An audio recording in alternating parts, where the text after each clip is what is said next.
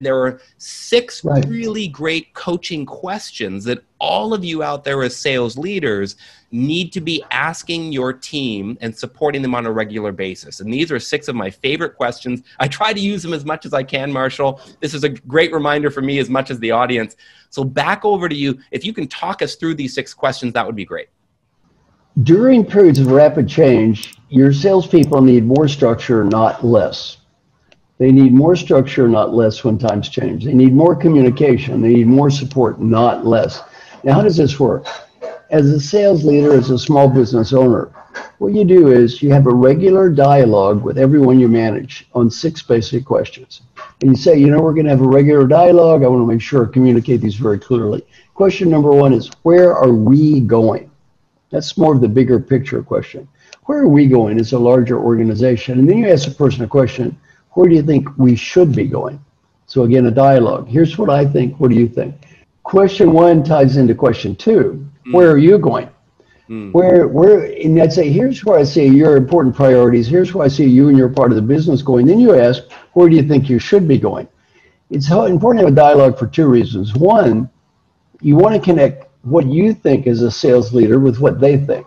Your priorities need to be connected to their priorities. Number two, you want to look at the bigger picture of the organization that you lead and talk about the smaller unit that they're in charge of.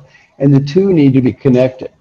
So that's why this is a dialogue, it's not a dictate. Here's what I think, what do you think? Mm. Now, so that's the first two questions. So you're trying to get Question number three is right? doing well. Alignment. The whole thing is about alignment. Question number three is doing well. I'd say, here's what I see you and your part of the business is doing very well. And then ask a question. What do you think you're doing well? See, a very good question. They may come up with things that you as a manager never thought of. And mm. say, you know, that's great. I didn't recognize it. Your team put in a wonderful effort. I should recognize them. Mm. So ask a question. What are you proud of? What do you think you're doing well? That's very motivational as well. Mm. Then question number four is, as you know, I'm bigger on feed forward than feedback. Right, right. Question number four is suggestions for the future.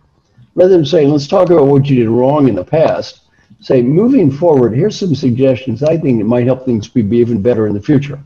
And then ask the person a great coaching question. If you were the coach for you, what ideas might you have for yourself? If you were the coach for you, what ideas might you have? Now, one of my good coaching clients is George Borst. George was CEO of Toyota Financial Services. George was skeptical about this question number four, that question about if you were the coach for you, what ideas would you have? He thought people would say fluff, you know, like I work hard and I'm dedicated and all that. No, he was very surprised. He said more than half the time he thought their ideas were better than his ideas. And he would end up saying, look, forget my ideas. I like yours better. so that's question number four. Question number five is a great question for the leader to ask, how can I help? How can I help you? And then question six, I want to do better too. Moving forward, what ideas and suggestions do you have for me? Six basic questions. One, where are we going? Two, where are you going? Three, doing well. Four, suggestions for the future.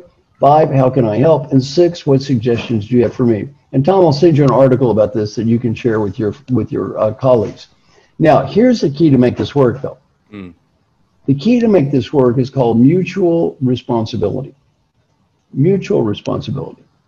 You see, too much of engagement and leadership is taught as if it's all about the leader with no responsibility to the people being led. I don't believe that.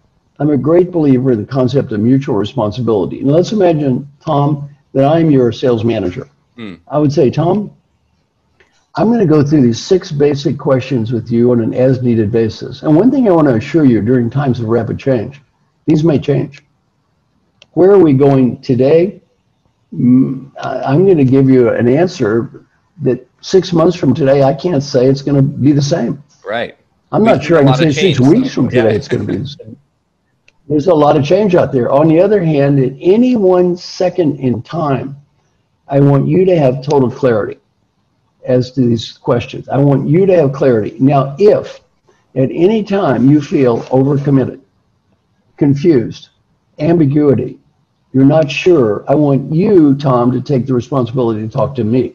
Yeah. Because if I do my job on a regular basis and you assume responsibility as well, there's no reason we'd have any alignment problem. Right. And back to my analogy of the golfer. Mm. At any second in time, the salesperson needs to hit the ball in front of them. They need to be able to block out the past. They need to have that clarity, have the strategy, hit the ball in front of them, and block out all that other stuff. Don't worry about winning the Super Bowl here. Just hit the ball in front of you. If you want to take your sales skills to the next level and learn how to master the entire sales process, join SoCo Academy and get certified in SoCo selling. The link is in the notes.